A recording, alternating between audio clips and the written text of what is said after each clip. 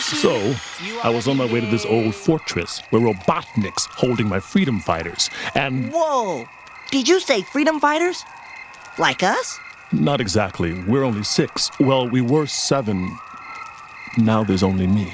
Isn't that interesting? We've never heard of other freedom fighters. Well, before today, we'd never heard of you either.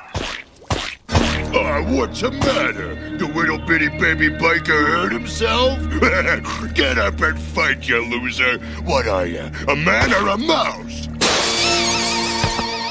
Yo, Mouse. You got a problem with that? this is one crummy place you got here. It's crawling with rats. Rat? My mama didn't raise no stinking rat. Understand? It's tail whipping time. Let's take this wretch head down. Hey!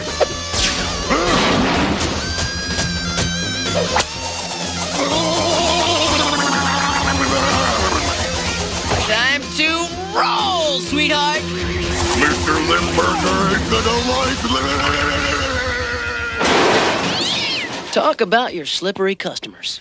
yeah, they could call him the Duke of Oil.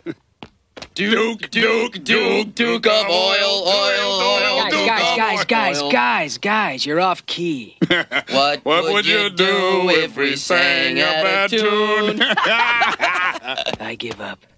You okay, ma'am? Don't you come any closer, you! You! Whoa, whoa, hey, hey, hey, hey, don't break a nail. We just came in to get my bike fixed. yeah, we're the good guys. Talk about no appreciation.